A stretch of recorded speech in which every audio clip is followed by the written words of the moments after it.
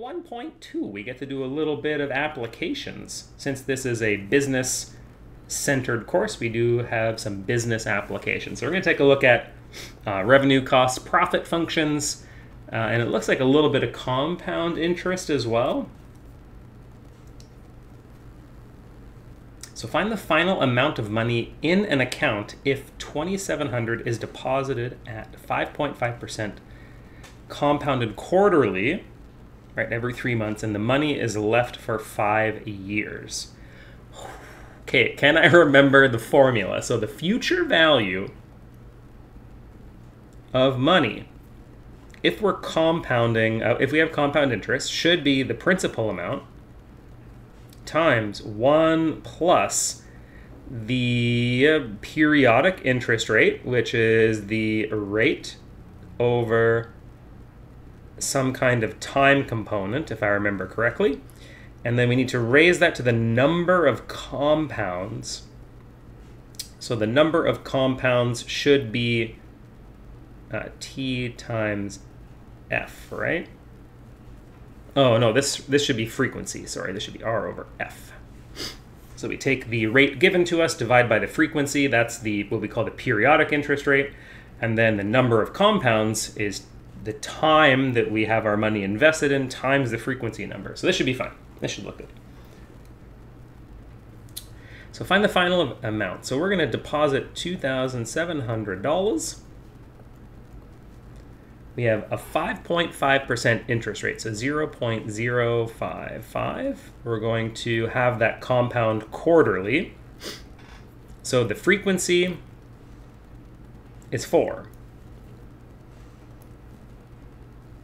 We're going to put that money in for five years. T needs to be entered as a yearly kind of thing. So 5 times 4, so there should be 20 compounds altogether over the course of five years, right? If it's happening every month. So I'm just going to rewrite this as 20.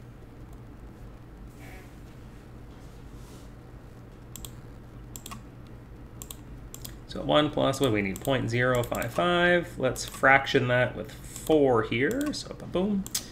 And we need 2 the power of 20. So we're going to have about 3,547. So 3,500 $47.98. And be a little careful here. It does say round to two decimal places. The dollar sign is also here. So when I go to enter this, if I if I were entering this as a student, I would want to make sure to go 3547.98. And I wouldn't add any more or any less, and that should be okay. what present value amounts to a certain amount of money if it's invested for two years at 11% compounded monthly. So again, we should be able to use our future value formula. So 1 plus r over f tf. And let's see what's given to us. So this is actually now going to be our future value. So this question is asking us how much do I have to put into the bank now to get this amount in the future. So let's put our 12,000 $448.29 as a future value. And our goal is oh, yeah? to try to find... Prepare to be iterated! The Yarbs! Hey, thanks so much for the follow. Much appreciated. How are you doing? So what do we have here? 1 plus the rate. So 11% compounded monthly. So my frequency number is 12. And we're putting this in for two years. So we need 2 times 12 for t times f. So I'm going to write that as 24. And then we should be good to uh, go ahead and try to find P. So P is going to be this 12,448.29. And we're going to divide that by 1 plus 11% monthly to the power of 24. So let's go ahead and let's set up this fraction. So 12,448, uh, 29. And let's pop into the denominator. We do need our brackets to the 24. Uh, I think that did not work.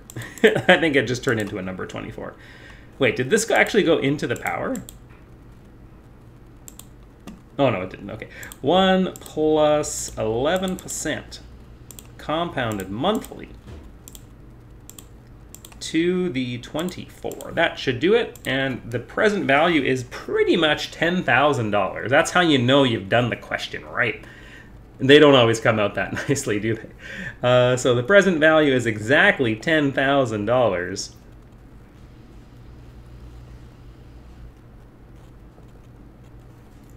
There it is. Oh, check this out. Suppose a calculator manufacturer has the total cost function as this, and the total revenue function as this. What is the equation of the profit function? So profit is revenue minus costs. So P of X should be the revenue that I bring in minus the costs to produce the items. If the revenue is 55, let's say $55 times the number of items that I produce. I need to subtract off all of the costs. So I'm going to be a little careful here. I'm going to put brackets in. 11, 0, 0, 0.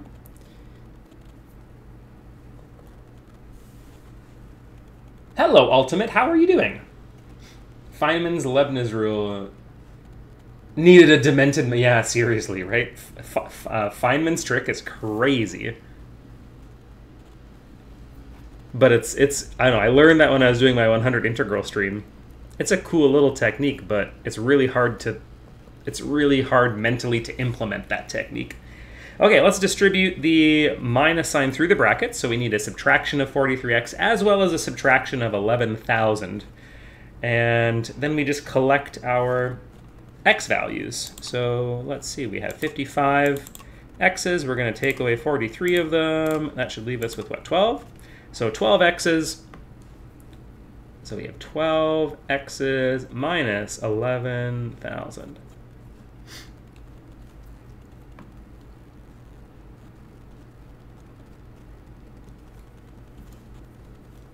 So 12 x's minus 11,000.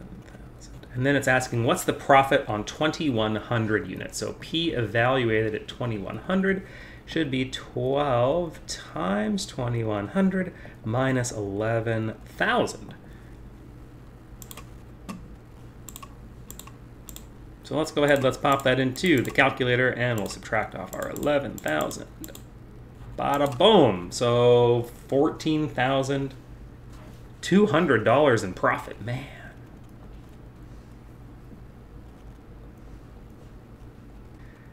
So question four, suppose a stereo receiver manufacturer has the total cost function as this and the total revenue. What's the equation of the profit function? So similar story here, we're gonna do revenue minus costs. So let's take, I don't think I need to write this one down. We can take our 830 and we'll go ahead and we'll subtract our 400. This is gonna be the coefficient of x.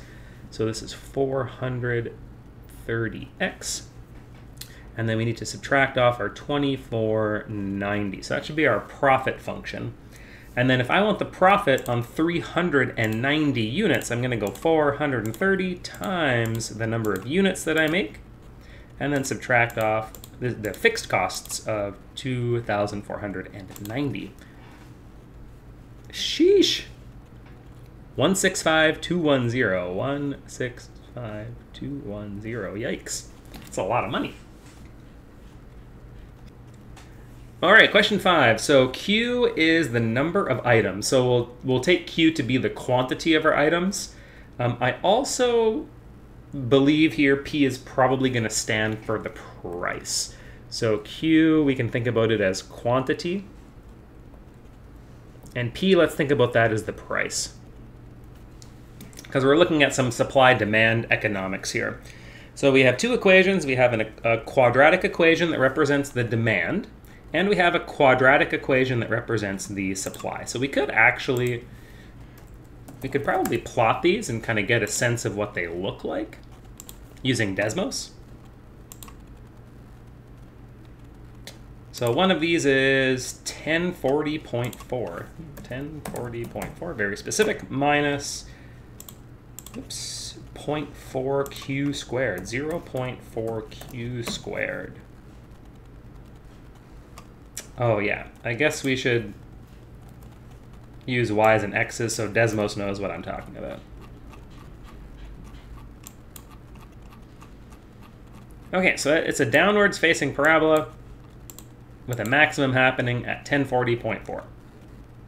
The next equation we have is 0.5 q squared, so I'm going to put this in as y equals 0.5 uh, x squared, so we can see this parabola uh, opening up. And we can probably, let's see, I can probably make this a little bit better. What are we around here? This is kind of like 100.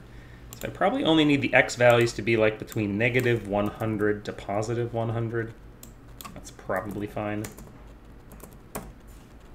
There, and that'll give us a pretty good picture of what's happening. So x and y here are representing, x is going to be representing our quantity and y is representing our price. Uh, these things can only be positive, so we really only need to view this for x greater than or equal to 0.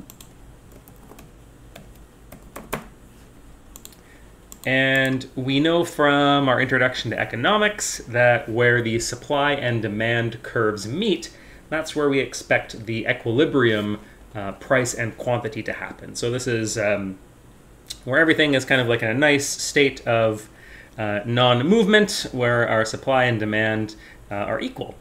So we expect the x value or the quantity to be our 34 items, and we expect the price to settle around $578. So let's see if we can prove that algebraically. So we need supply to equal the demand. Since both have P equals something, I can actually set those two things equivalent to each other right away. So my demand is 1040.4 minus 0.4 q squared, and then my supply is 0.5 q squared. Uh, okay, so we, I guess, need to get all of the q's together. they call me the hmm. Desmos detail. Desmos detail, like you're some sort of mathematical mastermind. Don't get too Zeta ahead of yourself. I don't know. I, I think... You're looking at a Zeta talented Reaper, master of mathematics in the game. It's all part of my grand equation. oh, a Desmos demon. okay, okay, I got you now. I got you. I was like, Show says you're not a mathematical mastermind, but I don't know. If you can show me tricks like that in Desmos, I'm pretty sure you're a mathematical mastermind. So I'm going to take this negative 0.4. Let's group that together with the 0.5. That's going to give us 0.9. So we have 0.9 q squares should be 1040.4. And then we need to divide both sides by 0.9. So let's take our 1040.4. Let's divide by 0.9 and that's going to give us uh, 1,156. That's q squared. Now I need to apply the square root to that, so let's square root our answer, and we do indeed get 34. Now, when I force a square root, usually I take the plus minus. Uh, but in this case, since we want the quantity to be positive, we're going to ignore the negative solution in this particular case uh, because the quantity cannot be negative in this particular applied example. So the equilibrium quantity is 34 items. And then what we can do is we can use basically any one of these equations. Uh, the supply function is pretty straightforward. So if I know I have 34 items for Q, I can take 0.5. I can multiply by 34 squared and this should give me the equilibrium price that we're looking for, which is $578. Bam! If the demand for a pair of designer high heel shoes is given by blah and the supply function for the same shoes is given by this. Okay, so the demand, we know the demand function is 4p plus 5q equals 825. So the quantity demanded at $175. So let's put in 175 for the price.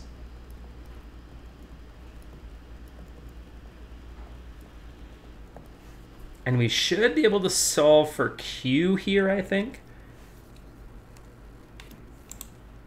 So we need 8 25 subtract 4 times 175.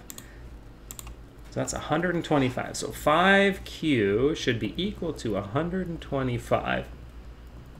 How many fives are in there? There's a, like 25 fives in there.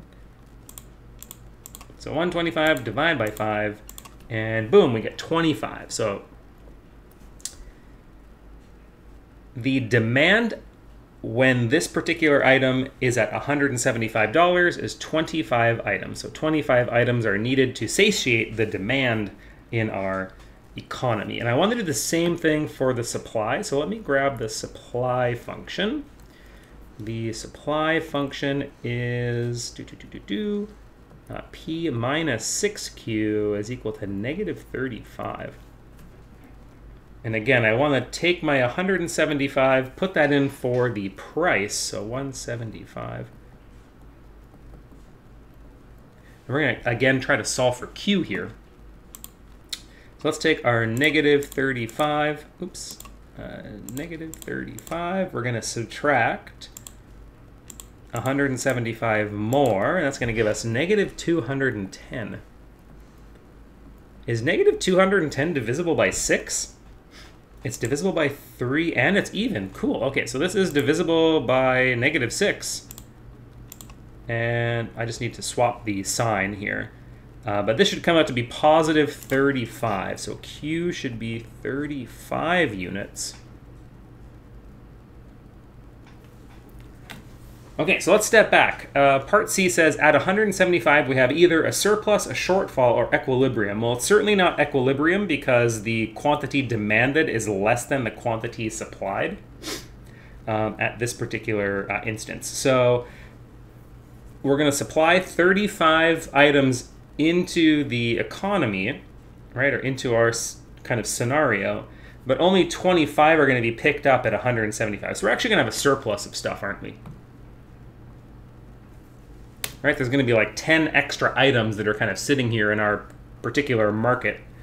Um, so we're going to have more items than what the demand looks like. So if the quantity supplied is higher, we end up in a surplus. If the quantity supplied is lower than the quantity demanded, we end up in a shortfall, meaning there's not enough being supplied into the market uh, to meet the demand that the market has at this particular price. And of course, if uh, the demand and supply are equivalent to each other, then we should be at equilibrium um, at this particular dollar value.